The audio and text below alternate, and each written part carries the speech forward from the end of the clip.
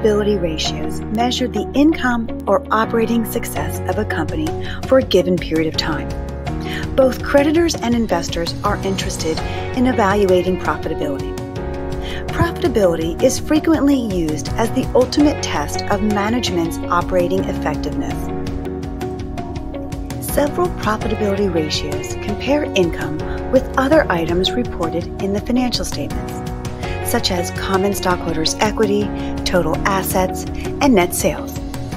In this video, we will discuss these eight ratios. Return on equity is a widely used measure of profitability.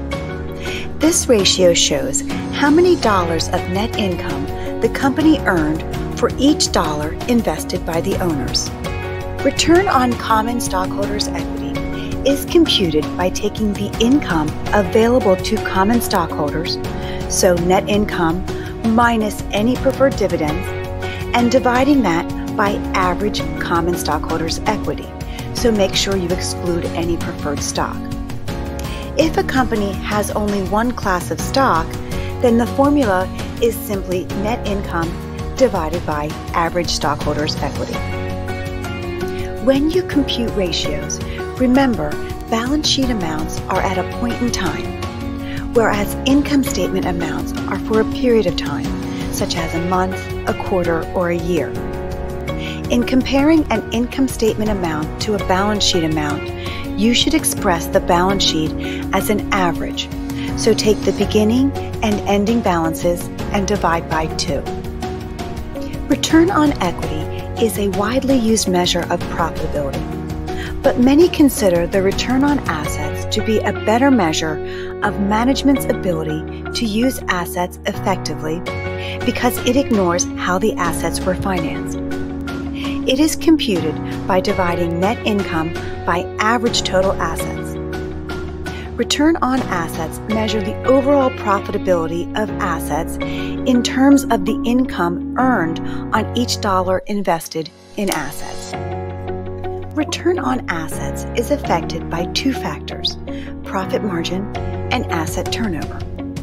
Asset turnover measures how efficiently a company uses its assets to generate sales. It is computed by dividing net sales by average total assets. The other factor that affects return on assets is profit margin. Profit margin is a measure of the percentage of each dollar of sales that results in net income. It is computed by dividing net income by net sales for the period.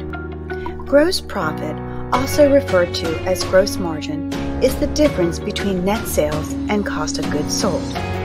The gross profit rate is computed by dividing gross profit by net sales. This ratio indicates a company's ability to maintain an adequate selling price above its cost of goods sold. All other things equal, a higher gross profit results in higher net income. Earnings per share is a measure of net income earned on each share of common stock. It is computed by dividing net income by the average number of common shares outstanding during the period. The earnings refer to the amount of net income available to each common stockholder. If there are preferred dividends, we must deduct them from net income to arrive at income available to common stockholders. The price earnings ratio, often referred to as the PE ratio, measures the relationship between the current market price of a stock and its earnings per share. This ratio reflects investors' assessment of a company's future earnings. It is computed by dividing the market price per share by the earnings per share. The payout ratio measures the percentage of earnings distributed in the form of cash dividends. It is computed by dividing cash dividends declared on common stock by net income.